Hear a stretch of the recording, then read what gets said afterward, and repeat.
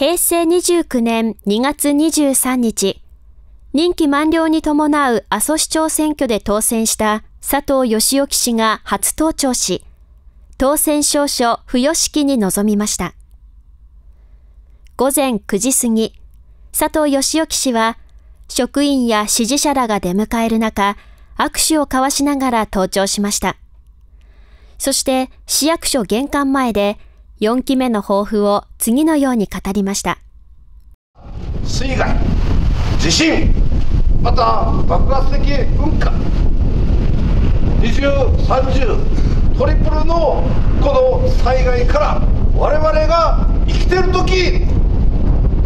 この難局を乗り越えてどこにも負けない素晴らしい阿蘇市というものをっていかなければいけないと思っております当選証書付与式では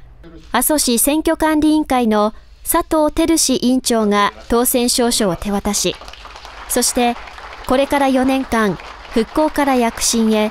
阿蘇市の2万7000人余りの市民のために職務を遂行していただくことを期待しておりますと述べました。